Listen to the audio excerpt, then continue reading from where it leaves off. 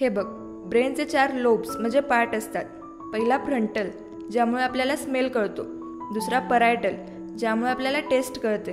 तिसरा ओसिपिटल ज्यामुळे आपल्याला व्हिज्युअल समजतात. आणि चौथा टेम्परल ज्यामुळे आपल्याला ऐकायला येतं. ओके? छान समजवलंस हं. पण हे सगळं तुला कसं काय येते? कारण माझ्या ब्रेनचे चारही लोब्स खूप छान काम करतात. अगं मी श्री राजलक्ष्मी रॉयल सायन्स अकॅडमीचा फाउंडेशन कोर्स अटेंड केला होता ना? त्यामध्ये त्यांनी ब्रेन किडनी लिव्हर असे सगळे ऑर्गन्स आमच्या हातात देऊन एक्सप्लेन केलं होतं. आणि आता मी तिथे ऍडमिशन पण घेतलंय.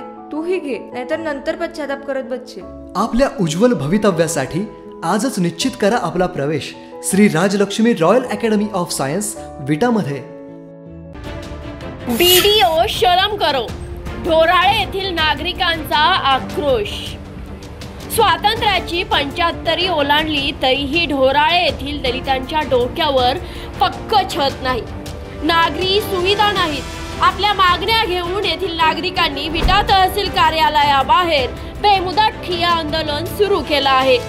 आंदोलकांनी दिलेल्या घोषणांनी तहसील कार्यालयाचा परिसर दणाणून गेला.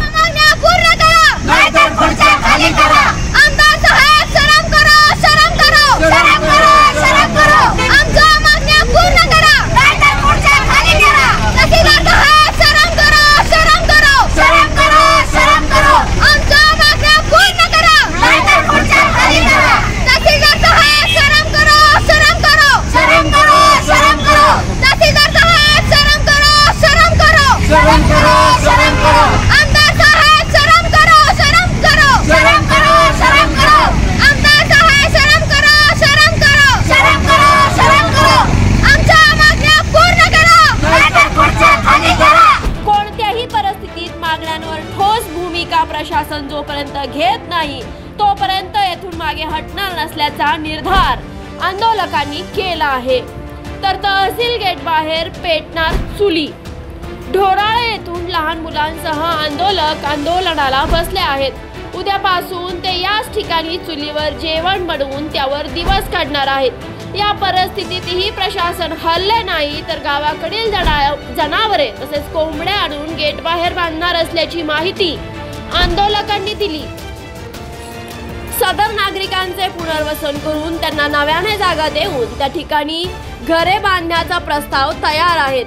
ते प्रस्ताव उद्या दाखल करणार असल्याचे सांगत विटा पंचायत समितीचे बीडीओ पवार यांनी आंदोलकांना आंदोलन मागे घेण्याची विनंती केली. परंतु सदर पुनर्वसनाची जागा पाहिल्याशिवाय तसेच प्रस्ताव दाखवल्याची खात्री झाल्यावरच आंदोलनाबाबत निर्णय घेणार असल्याची भूमिका आंदोलकांनी घेतली. ढोराळे येथील आंदोलक गेटवर चुली पेटवणार असल्याने तसेच जनावरे घेऊन येणार असल्याने प्रशासनाची चांगलीच तारांबळ उडण्याची चिन्हे आहेत. यावर उद्या प्रशासन तातडीने मार्ग काढणार की आंदोलन चिकळणार हे येत्या काळातच कळेल. विकासाचा डांगोरा पिटणाऱ्या सांगली जिल्ह्यात आणि इकडच्या पांढऱ्या धोट आणि महागड्या गाड्यातनी फिरणाऱ्या पुढाऱ्यांच्या गर्दीत डोराळ्याचा जो प्रश्न आहे गेल्या सत्तर वर्षात इथल्या दलित बांधवांना राहायला हक्काचं घर नाही स्वतःची जागा नाही. आज तागायत त्यांना प्यायच्या पिण्याच्या पाण्याची व्यवस्था नाही. काल परवा त्यांच्या वस्तीत विजेचे बल्ब लावले इतकी विधानक अवस्था. खानापूर तालुक्यासारख्या तालुक्यात असेल तरी नक्कीच शर्मेची गोष्ट आहे. आणि या गोष्टीची शरम इथल्या प्रशासनाला नेत्यांना नक्कीच वाटायला हवी. अ, नेते जर इथले बघितले त्यांनी त्यांचा थाटमाट बघितला तर या नेत्यांना आपली जनता आपली मतदार अशा अवस्थेत ठेवायला काहीतरी वाटलं पाहिजे. या नेत्यांनी तातडीनं या प्रश्नाची दखल घ्यावी आणि या गोरगरिबांना हक्कांची घरे मिळवून द्यावी. तालुक्यात अशी अनेक गाव आहेत आणि अनेक गावात अशी अनेक लोक आहेत की ज्यांची परिस्थिती चांगली आहे. त्यांना दारिद्र्यशीखालील घरे मिळालेत. म्हणजे परिस्थिती चांगली असताना घरात श्रीमंती असताना दोन दोन घरे मिळाली पण ज्यांना हक्काचं घर पाहिजे निवारा पाहिजे अशा लोकांना घर दिलं जात नाही. आमच्या प्रशासनाला इशारा आहे. लवकरात लवकर या प्रश्नाकडं गांभीर्यानं बघावं आणि या गोरगरिबांना हक्काचं घर मिळवून द्यावं. अन्यथा आम्हाला हे आंदोलन तीव्र करावं लागेल. पुन्हा कायदा हातात घ्यावा लागेल हा आमचा इशारा आहे. भारत देशानं मंगळावरती यान सोडलेलं आहे. चंद्रावरती पाय ठेवण्याच्या प्रयत्नात भारत आहे. डिजिटल देशाच्या दिशेनं भारत सध्या झेपावत आहे.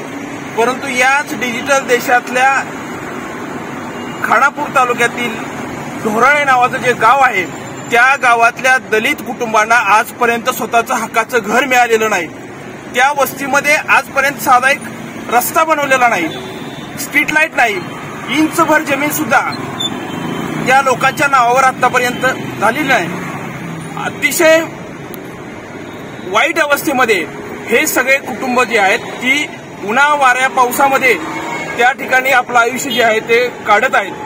जेव्हा ह्या सगळ्या लोकांच्या यातना घेऊन ते आमदारांच्याकडे गेले तेव्हा आमदार त्यांना म्हणाले की पत्रे गळत आहेत तर तुम्ही त्या पत्र्यावरती कागद टाका.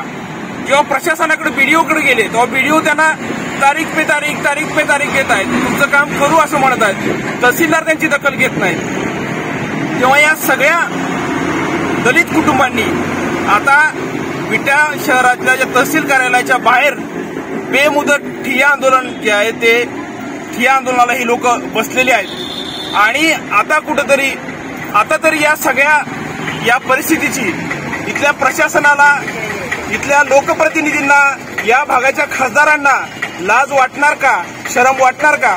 आंबेडकर जयंतीला एखादा चांगला हार घेऊन हे सगळे नेते जे आहेत ते बाबासाहेब आंबेडकरांच्या पुतळ्याला हार घालण्यासाठी जात असतात.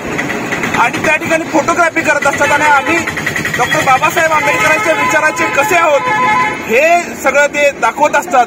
परंतु त्याच तालुक्यातल्या या धोराळेमधील दलित बांधवांची ही सगळी अवस्था आहे. बाबासाहेबांच्या विचाराची जर लोक असतील तर दलित कुटुंबांवरती ही अशा प्रकारची अवस्था ओढवली नसती. तेव्हा ह्या सगळ्या नेत्यांना या ठिकाणी आम्ही एक इशारा देत आहोत की तुम्ही या धोराळेतील या सगळ्या प्रश्नांवरती बोलणार आहात की नाही? याचबरोबर प्रशासन जे नागरिकांच्या सेवेसाठी असतं लोकांच्या सेवेसाठी असतं या प्रशासनानं सुद्धा हा सगळा भेदभाव केलेला आहे की काय? अशी शंका आता उपस्थित होण्यास व्हावं आहे कारण पंतप्रधान आवास योजनेची जी यादी आहे त्या यादीमध्ये त्या गावातल्या सर्व लोकांची नावं आहेत परंतु या वस्तीतील नागरिकांचीच नावं नाहीत दारिद्र्य रेषेमध्ये नावं नाहीत. त्यामुळं या सगळ्या याच्यामध्ये भेदभाव करणाऱ्या अधिकाऱ्यांच्या वरती अॅट्रॉसिटी अंतर्गत गुन्हे दाखल करण्याची मागणी आम्ही करणार आहोत. आणि जोपर्यंत या घराचा प्रश्न सुटत नाही तोपर्यंत या ठिकाणी आम्ही घरातली सगळी जी जनावरं आहेत आता लहान मुलं पण आपण बघू शकता की इथं आलेले आहेत. जनावरं असतील आणि जेवणासाठी जे अन्न आहे ते आम्ही या ठिकाणीच उद्यापासून शिजवून खाणार आहोत.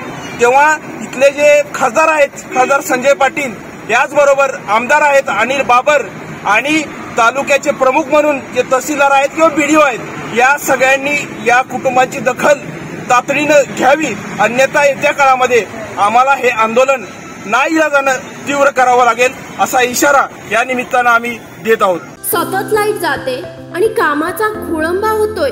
आता चिंता करू नका.